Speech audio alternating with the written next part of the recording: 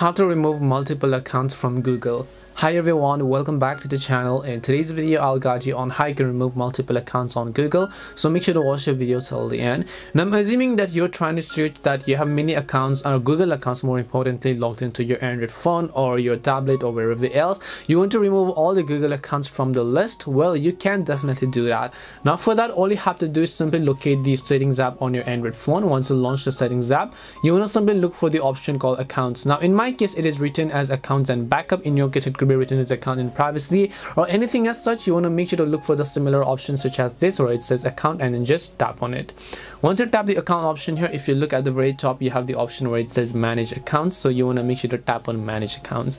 As you do that you'll be able to see a list of all the google accounts as well as other accounts that you've added. And if you want to delete a specific account just select that specific account here tap the remove option and then just tap on remove account in order to remove the specific google account from your android phone and you can repeat the process for other google accounts as well this is simply how you can remove multiple accounts from Google. Hope this video helped you. If it did help you, make sure to leave a like and subscribe to our channel. And if you have any questions, feel free to leave them down.